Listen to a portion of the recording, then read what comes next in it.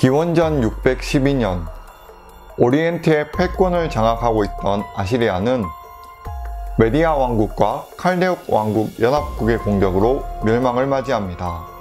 아시리아 제국이 멸망한 뒤 오리엔트는 메디아와 칼데인들이 일으킨 신바빌로니아 그리고 리디아와 이집트의 사강국으로 분립된 시대가 되는데요. 신바빌로니아에서는 일대 왕인 나보폴라사르 왕의 뒤를 이어 네부카드네자르 2세가 수도 바빌론을 발전시켜 오리엔트의 상원권을 독차지하여 가장 부강한 나라가 되었습니다. 하지만 네부카드네자르 2세가 죽자 바빌론의 영광도 시들어갔으며 돈에 밝은 상인들이나 은행가들이 신관보다 더욱 부자가 되며 영향력이 커지고 있었죠. 신바빌로니아에서는 신관 세력과 은행가 간의 세력 다툼이 시작되었고 이 혼란을 틈타 메디아 왕국의 아스티아게스 왕은 군대를 일으킵니다. 바로 신바빌로니아의 상업 중심지인 하란을 뺏기 위해서였죠. 이에 신바빌로니아의 나보니도스 왕은 하란을 뺏기지 않기 위해 메디아 동쪽에 있는 페르시아에게 도움을 요청하는데요. 신바빌로니아가 손을 내밀었던 페르시아는 훗날 거대한 대제국이 되지만 이때만 하더라도 메디아의 속국으로 영토가 작은 변방 지역이었습니다. 페르시아 지역을 이끌었던 자는 키루스 2세로 그는 메디아 아스티아게스 왕의 외손자였죠. 아스티아게스 왕 입장에서는 외손자가 신바빌로니아와 손을 잡았다는 사실에 격분하여 키루스 2세를 메디아 왕국의 수도 엑바타나로 불러들였습니다.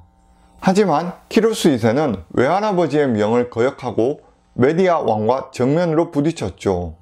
아스티아게스와 키루스 2세 간에는 무슨 일이 있었기에 핏줄끼리 손을 잡아도 모자랄 판에 대척을 하고 있었을까요? 아시리아의 멸망 이후 4대 강국 중 하나였던 메디아 왕국은 이란계 고대 민족들이 세운 국가로 현대 이란 역사의 기초를 다진 국가입니다. 메디아인들은 아시리아가 서아시아의 패권을 차지하던 시절 아시리아의 속국으로 이란 고원에서 뛰어난 말을 사육하는 것으로 유명세를 떨쳤는데요. 기원전 7세기 초 메디아의 이대왕 프라오르테스가 아시리아 제국과의 전투에서 전사하게 됩니다.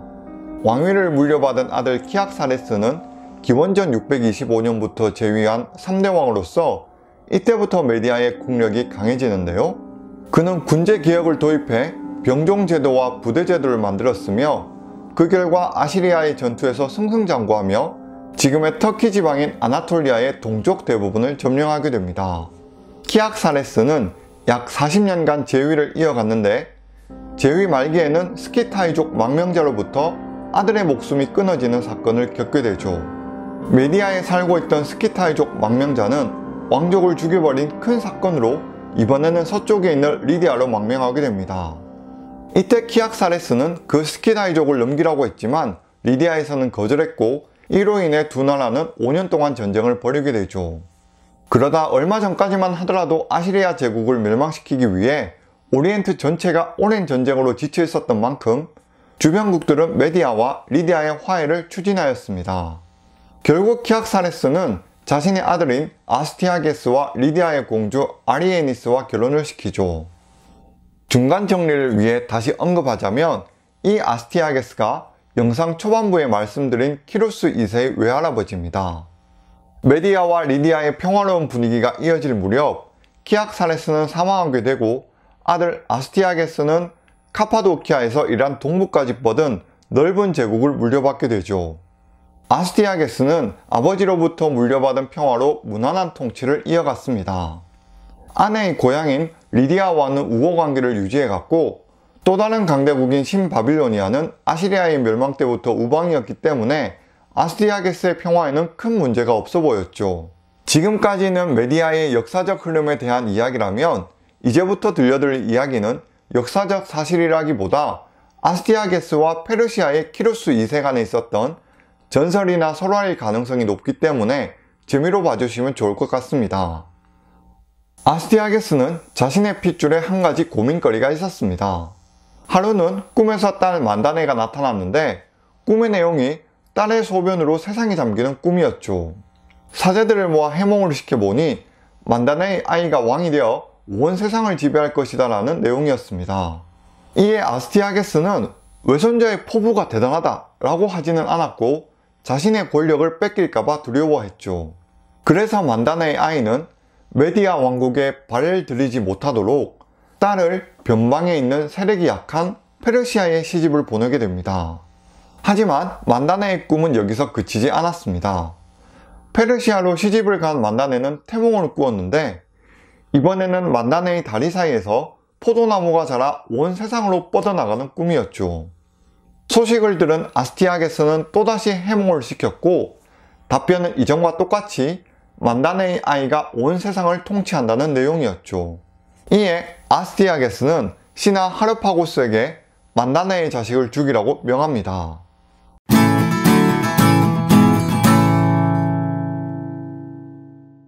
하르파고스는 원래 메디아의 왕족이었는데요. 아스티아게스의 친척이었으며 충성도가 높은 신하로서 왕으로부터 신임을 두텁게 받고 있었습니다. 하지만 왕에게 만다네의 아들을 죽이라는 어려운 명령을 받고서 하르파고스는 자신의 손으로 직접 처리하지 못했죠. 그 이유는 인간적인 면도 있었지만 당시 아스티아게스에게는 아들이 없었고 그렇다면 차기 왕은 만다네의 아들이 되어야 하는데 자신이 생각할 때는 왕족을 없애는 것만 같았습니다. 이에 소치기를 불러 아이를 없애라고 시켰는데 소치기는 자신의 집으로 아이를 데리고 가서는 참아 죽일 수 없었던 거죠. 그때 마침 소치기 집안에서는 아기를 낳다가 사산한 아들이 있었고 이를 바코치기해서 하르파고스에게 시신을 보냅니다. 하르파고스는 자그마한 시신을 보고서는 만단의 아들의 죽음을 의심하지 않았는데요. 그리고는 시신을 아스티아게스에게 가져가 임무를 끝냈다고 보고합니다. 살아남은 아이는 자라서 소년이 되었고 어느 날 소년은 동네 아이들과 왕게임을 하고 놀았죠. 이 소년이 바로 키루스 2세였는데 소치기 아들로 자라는 동안의 이름은 저도 모르겠네요. 설명의 편의를 위해 키루스 2세라고 부르겠습니다. 왜 이름이 키루스 2세인지 궁금하신 분들을 위해 말씀드리자면 키루스 2세의 친할아버지가 키루스 1세이며 아버지는 캄비세스 1세였던 거죠. 메디아의 왕 외할아버지 아스티아게스가 외손자 키루스 2세를 없애려 했던 것이고 키루스 2세의 이름은 아버지 쪽의 이름을 이어받았습니다. 어쨌든 키루스 2세는 동네에서 왕게임을 하고 있었고 그 게임에서 왕으로 뽑히게 되었는데 다른 고위 관리의 아들이 내가 왜 소치기 아들의 말을 들어야 되냐며 게임의 법칙을 훼방 놓았죠. 키루스 2세는 게임의 법칙을 훼방하는 고위 관리직의 아이를 보며 규칙을 지키지 않는 행위에 대해서 화가 나서 고위 관리직의 아들에게 싸움을 걸어 두들겨 패버립니다. 고위직의 아들은 몸싸움에 밀려 자신의 아버지에게 일러바쳤고 귀족인 아버지는 키루스 2세를 법적으로 고발하게 되죠. 보잘것없는 소치기 집안의 아이가 귀족 가문의 자제를 흠씬 두들겨 팼다는 사건은 신분사회를 흐트리는 중대한 사건으로 취급되었고 키루스 2세는 당시 페르시아를 속국으로 두고 있었던 메디아 왕의 앞으로 끌려가게 됩니다. 아스티아게스는 소치기의 자식이 어디 주제도 모른 채 귀족 가문의 자제를 폭행했다고 추궁하였고 키루스 2세는 아무리 게임이라 하더라도 내가 게임의 규칙에서 왕이었기 때문에 내 말을 어긴 것이 먼저 죄라고 변론했죠. 또박또박 대답하는 소년을 보며 아스티아게스는 소년이 자신의 외손자임을 알아채게 됩니다. 그리고 지난날 아이를 없애라고 시켰던 하르파고스와 소치기를 불러 신문해 보니 외손자가 아직까지 살아있다는 것을 알게 되었죠. 마치 백설공주와 왕비가 떠오르는 대목이기도 합니다. 어쨌든 아스티아게스는 사제들을 모아서 어떻게 할까 논의를 하였고 사제들은 아이들의 놀이라 하더라도 왕이 되긴 했으니까 따님께서 꿈을 꾸었던 외손자의 야망은 여기서 끝이 난 것이라고 해석했죠. 그렇게 키루스 2세의 목숨은 살아났고 동시에 출생의 비밀도 알게 되었습니다. 하지만 이야기가 이런 식으로 깔끔하게 해피엔딩이 되지는 않았는데요. 아스티아게스는 충신이었던 하르파고스가 일처리를 제대로 하지 않고서 그동안 자신을 속였다 생각하여 괘씸하다는 생각을 품었습니다.